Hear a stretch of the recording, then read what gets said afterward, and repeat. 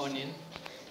And First you sliced yeah, onion. I sliced onion and potatoes. Try to use the.